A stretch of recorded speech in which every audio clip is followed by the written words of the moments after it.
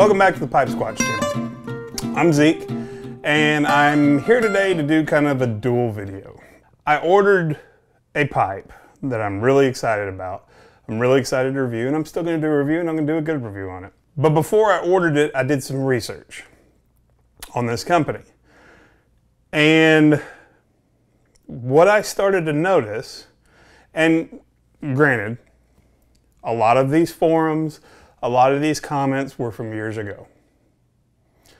But what I started to notice was that there was the forum community, there was the Facebook community, there was the YouTube community, and there's the Instagram community. From what I've gathered, Facebook, Instagram, YouTube have kind of become this synergistic little group for the pipe community. And then the forums still have um, their own opinions, which is fine. That's great. Everybody should have their opinions. If you think my videos suck, give me a thumbs down. I don't care. Anyways, what I saw about this company was, oh, well, that guy just got famous on YouTube and he's outsourcing his pipe making to some company in Italy and then calling them his. Well, if he designs them, yeah, they're his.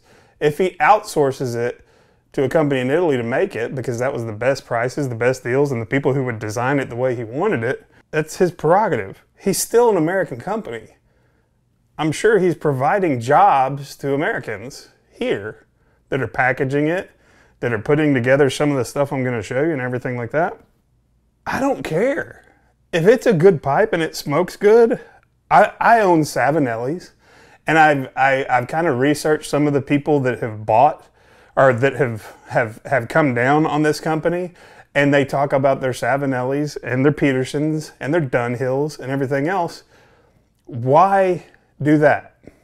The reason I'm acting kind of frustrated is because, as a lot of you know, I work in the firearms industry. My social media and YouTube past has been firearms related stuff. And we are in a constant fight for our rights. Whether you believe in firearms or not, I, if, if you are anti gun, fine. Just listen to what I'm saying. As a firearms person, we are constantly in a debate and a battle for our Second Amendment rights.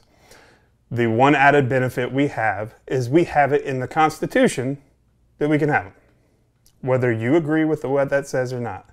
My point being is, with this stuff, from what I'm seeing, there's some stuff in the works about losing some of this. There's nothing in the Constitution about smoking a pipe and getting used to use tobacco.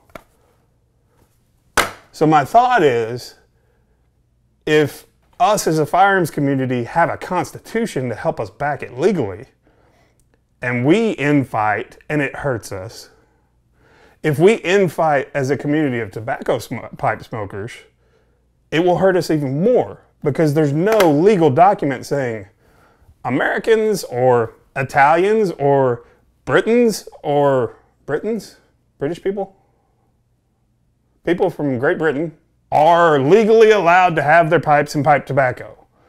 So within this community that I'm involved with, with the Instagram, Facebook, and YouTube.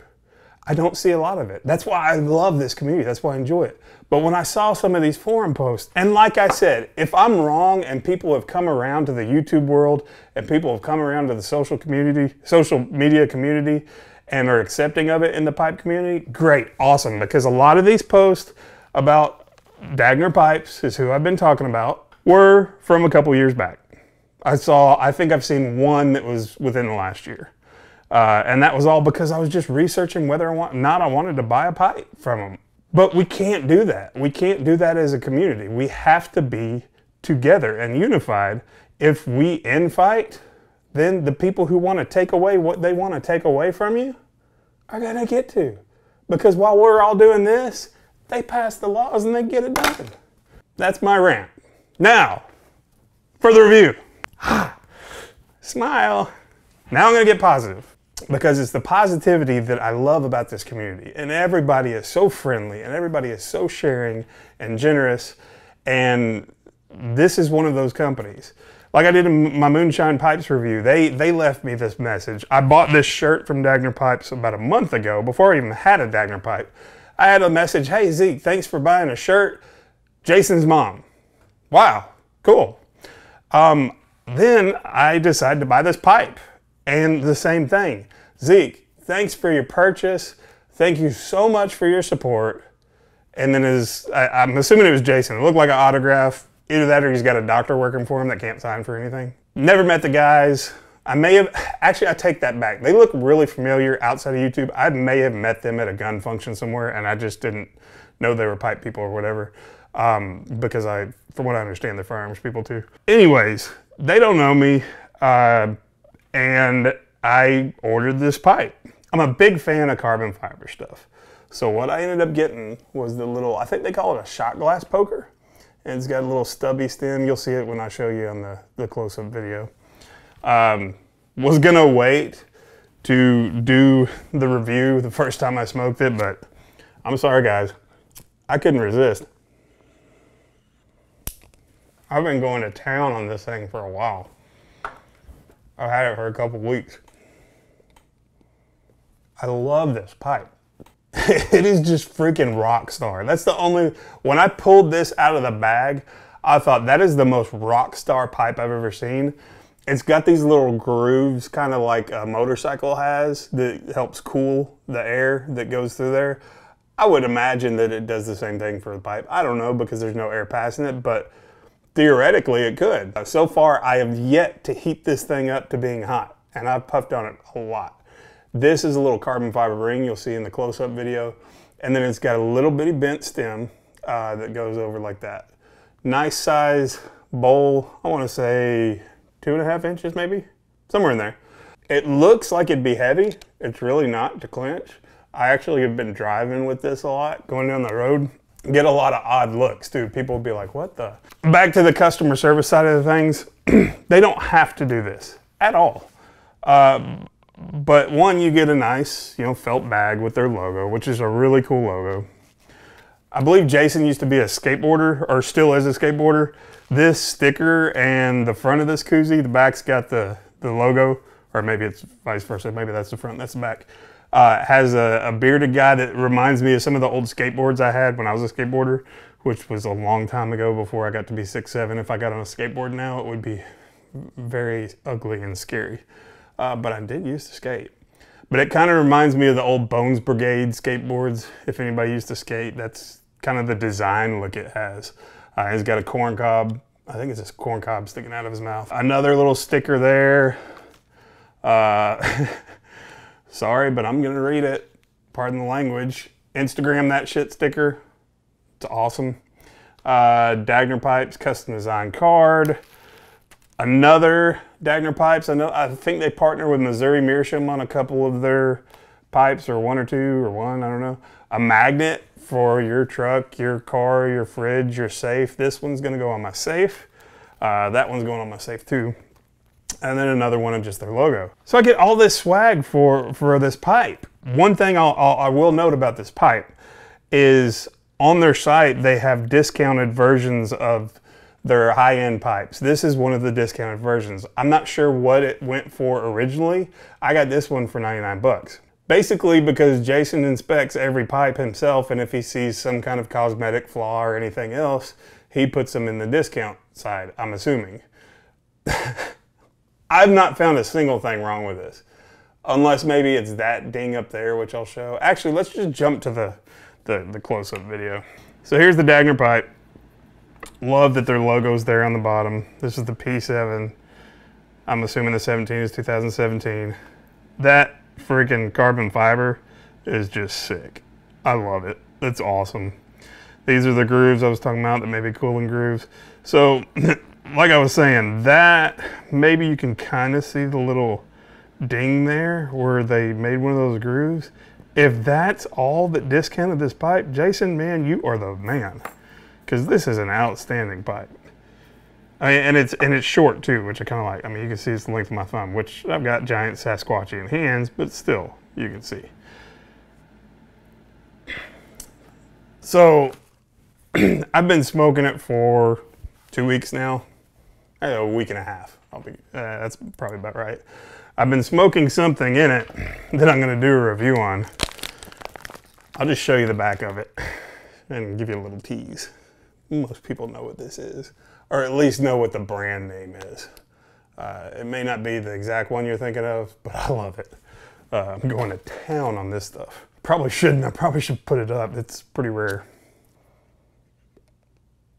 As far as that draw, I'm doing that same test I do with the other ones. I'm just barely letting any air coming out of my mouth. And I'm getting plenty of smoke. I'm getting awesome flavor. Tamp that down a little bit. It's got some weird stuff going on. Not the pipe, the tobacco. Had like little horns coming out. As far as clenching it, there's not a problem in the world. You remember in the one video where I said it's those little personal touches, like someone individually writing a note to you when they don't even know who you are, saying thank you for your support. Not just thank you for the purchase, but support because you know, I bought a shirt, you get all the stickers, you get the pipe. If it's good, if you get a good product, you're going to support that company again. I'll tell you right now, I'm buying another moonshine pipe just because that stuff, and I'm to buy another Dagner pipe because of the way they wear. Because, like I said, to have a successful business, you have to create super fans of your business. And both those companies, both American companies, no matter where he outsources these to, I don't care. They're creating a super fan of me. Just like Peterson has. Peterson, I'm a super fan of theirs. Rattray's, you know my story with them and how they've interacted with me. I'm super fans of all of them. I'm a super fan of this community, period. That's why I got so passionate at the beginning of the video because I saw some like negativity and I saw some bashing of other people and people that have done something with with this hobby and some they've they've turned it into something that they've enjoyed and turned it into something that other people in our community can enjoy. And if, if we bash people that are leaders in our community, because you gotta you gotta admit, is it 15,000 subscribers, something like that they have? He's a leader in our community.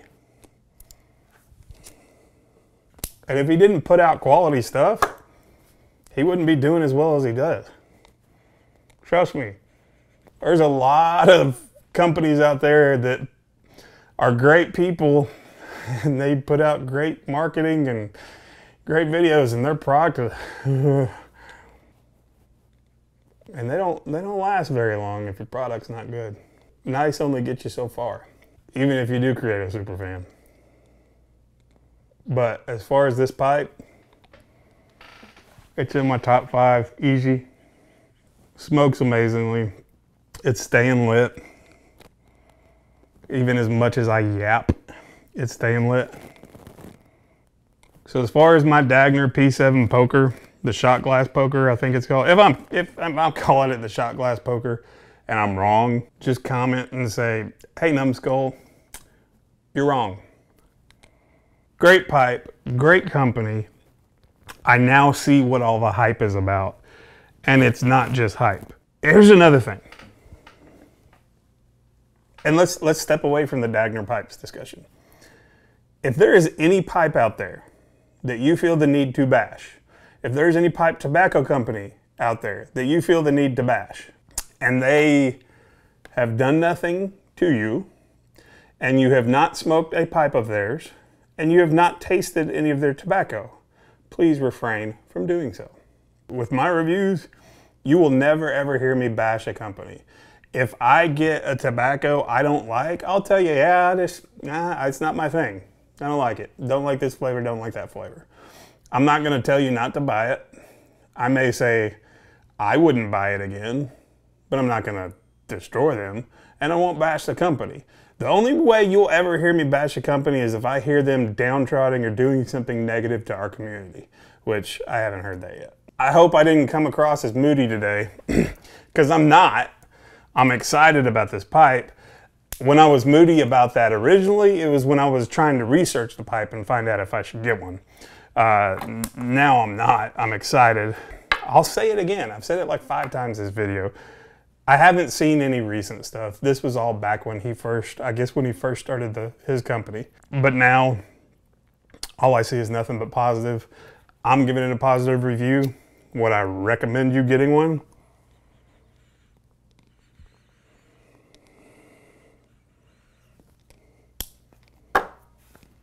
Absolutely. I put this company right up there with Moonshine. They're both in my top five pipes that I own. One of them's from here in the Nashville area. Other one's in Florida. So yeah, I'd recommend you get one, especially one of these. I haven't tried any of their other pipes, but if it's as good a quality as this one is, aces. So keep the pipes loaded, slow down, philosophize, and enjoy life.